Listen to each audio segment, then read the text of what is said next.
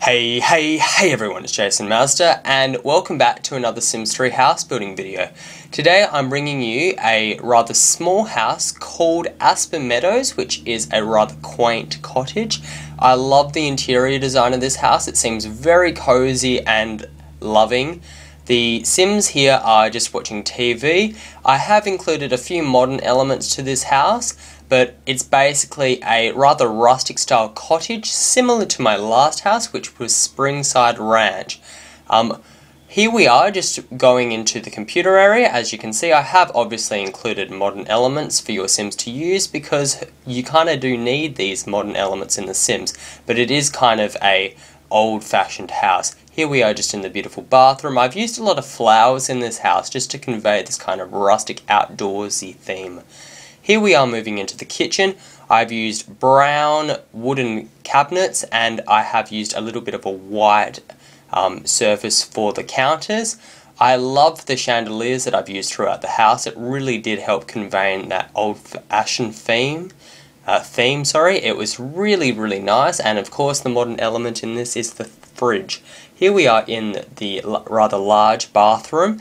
As you can see, there is two parts to this. There is the outer part, which has a toilet and dresser, and the inner part, where there's a little bit more privacy, is the shower and the bath with the flowers, which I've used move objects for.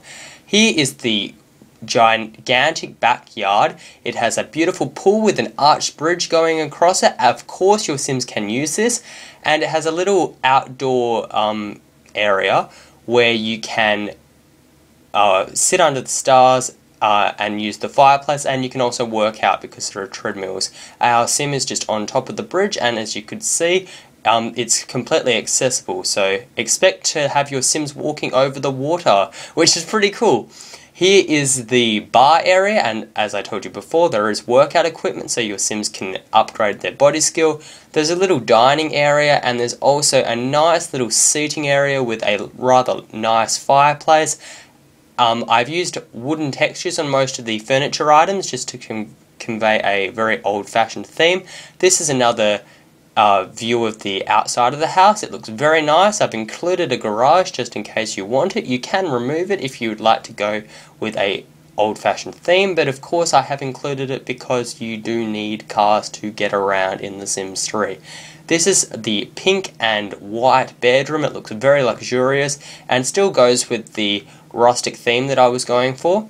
And as you can see the two sims really love it. And it looks very it's like a very rich themed room. And I love the curtains. The curtains are a very nice color and they look very luxurious. Here is the single bedroom with green accents and a bit of a wooden color palette.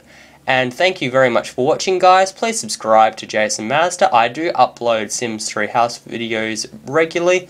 And also make sure to subscribe to the Sims 3 House Designs show as I will upload more there.